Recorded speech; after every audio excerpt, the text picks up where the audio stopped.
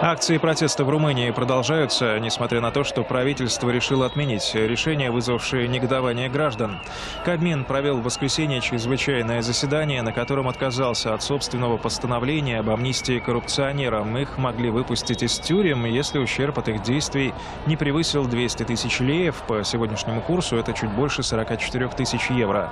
Оказалось, что отмена закона об амнистии не устроит митингующих. Теперь они заявляют, что не верят кабинету министров Сорина Гряндяну и э, требует его отставки, как рассказали участники протеста. Это правительство в любом случае продолжит свою коррумпированную политику.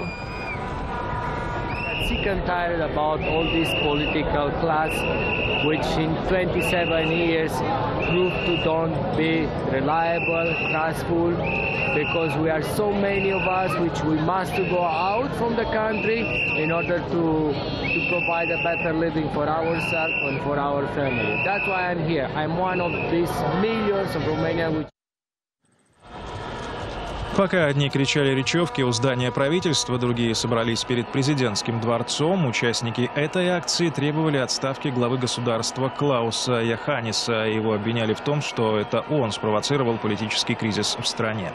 По официальной версии, Кабмин изначально одобрил законопроект, чтобы освободить переполненные тюрьмы Румынии. Однако местные СМИ находят политическую подоплеку. В последние годы за решетку попало слишком много социал-демократов, и по странному совпадению именно к этой партии относится премьер э, Гриндяно, главный защитник амнистии.